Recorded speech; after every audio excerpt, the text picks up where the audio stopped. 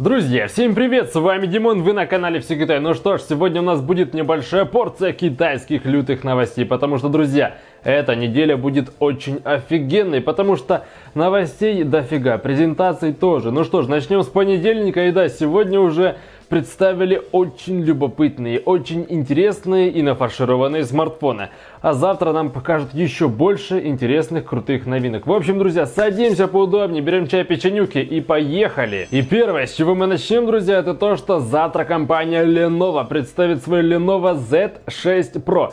Конечно же, завтра я сниму отдельное видео и все подробненько расскажу о данном смартфоне. Но на данный момент уже есть дизайн смартфона, и знаете, он в принципе неплох, да. Но дело в том, что это чудо получит 4 камеры. 4 камеры сзади. Да, как-то вот так-то на 48, на 16, на 8, так еще и двухмегапиксельный модуль будет. Скорее всего, это камера ТОВ, ну или датчик ТОВ, короче, как-то вот так, но дело в том, что это будет смартфон на Snapdragon 855, и смартфон будет заточен под видео. Просто будет всех разрывать, там 8-осевая стабилизация будет, короче, что-то нереальное, так уж точно. А также, друзья, банка будет на 4000 мАч. Короче, ждем завтрашней презентации презентации и посмотрим, что это за лютый зверь от компании Lenovo. Надеюсь, это будет крутая новинка. Компания Meizu завтра представит свой новый флагман Meizu 16s. Да, и знаете, дело в том, что уже как бы есть цены на смартфончик, и приблизительно в России его можно будет купить за 530 баксов, что в принципе как бы неплохо, но дело в том, что если компания Meizu представит свой Meizu 16s в Китае за 500 или за 480 баксов, то у меня есть только один вопрос. А нахрен кому-то нужен такой смартфон? Потому что, извините меня, но... Блин, компания Meizu сейчас находится в очень трудном положении. Это во-первых, а во-вторых, она не обновляет свои глобальные версии смартфонов. Очень часто не обновляет. Она забивает болт и обновления там раз в полгода, а вообще иногда даже раз в год прилетают и все. Короче, скукота, скукотень. И согласитесь, за 500 баксов покупать такой смартфон нет. Тем более, что за 330 вот на сайте AliExpress можно будет купить Meizu 16. Согласитесь, круто. Как по мне, очень даже неплохо. В общем, дело в том, что уже есть фотография, друзья, коробки смартфона. И там как бы четко видно, что Meizu 16s наконец-то смартфон компании Meizu новенький смартфон. Не старенький, а новенький получит NFC. И да, это очень круто, очень хорошо. Короче, смартфон должны нафаршировать очень хорошо. И завтра мы узнаем и посмотрим, что же там компания Meizu нам представит. И сделает она вау-эффект вот такой вот офигенный. Или же просто это будет смартфон, который, ну, никого не заинтересует. Ну что ж, Meizu 16s нам только завтра покажут, а уже в сети есть фотографии нового смартфончика, причем это игровой смартфон от компании Meizu, Meizu 16T. Смартфон, который будет, ну, относительно дешевым, точнее, это будет самый доступный смартфон компании Meizu на Snapdragon 855, так еще там банка будет на 4000 мАч, и с фронтальной части это будет вылитый Meizu 16S.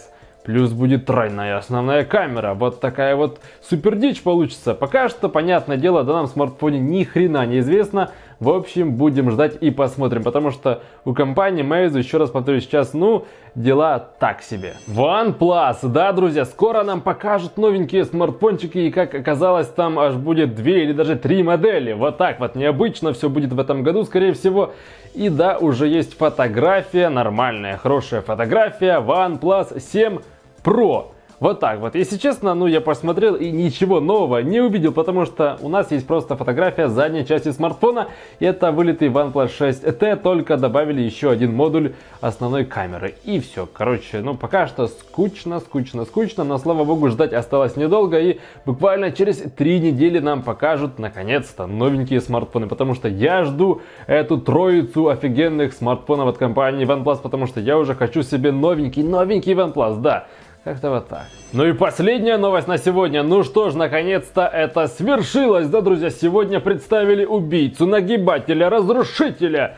Redmi Note 7 и Redmi Note 7 Pro. Да, компания Realme представила просто убийцу. И да, друзья, это не громкие заявления, это ну, можно сказать, реальность, потому что смартфон получился, ну, по крайней мере, на бумаге.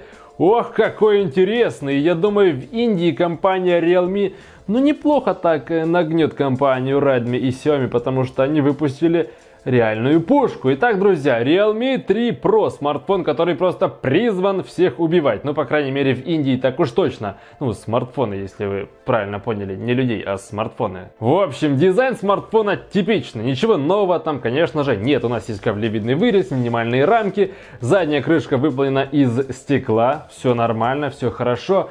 Ну что ж, характеристики. Дисплей 6,3 дюйма, Full HD+, разрешение, процессор Snapdragon 710. Хорошо. 4 или 6 гигабайт оперативной памяти, 64 или 128 гигабайт встроенной памяти.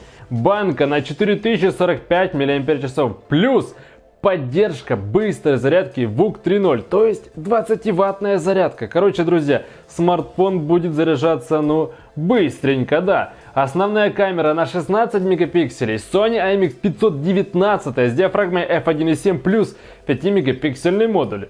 Неплохо, я думаю, да. И фронталочка, ну, на какие там, ну, скромненькие 25 мегапикселей, все хорошо. Но дело в том, что это чудо сможет снимать слоумо видео 960 кадров в секунду в HD качестве. Ну, вы, наверное, подумали, что этот смартфон, ну, стоит как минимум там долларов 300. Э, нет, компания Realme будет продавать данное чудо за две сотни. 200 долларов, версия 464.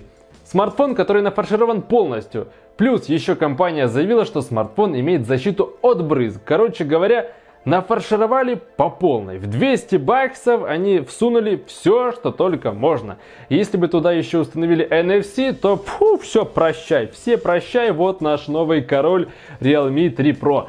Но пока что единственный минус в том, что это чудо будет продаваться в Индии. И да, я, блин, уже Хочу, чтобы компания Realme наконец-то начала продавать свои смартфоны на глобальном рынке, потому что, ну, ну, очень интересные смартфоны. За недорого мы получаем крутые характеристики.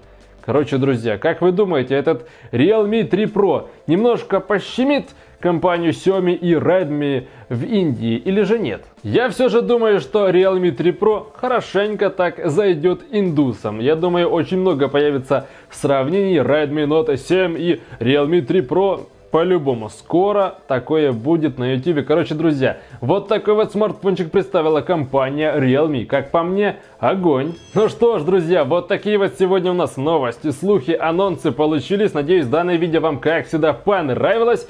И вы меня будете поддерживать лайками и комментариями. Да, друзья, давайте больше лайков, больше комментариев, потому что надо набрать уже 100 тысяч подписчиков. Осталось, ну, немножко. Хотелось бы дожать, друзья, до лета, и все будет офигенно. Да и сейчас все хорошо, но, блин, сотня это очень круто. В общем, с вами был Димон, канал Все Китай. Всем удачи, всем пока!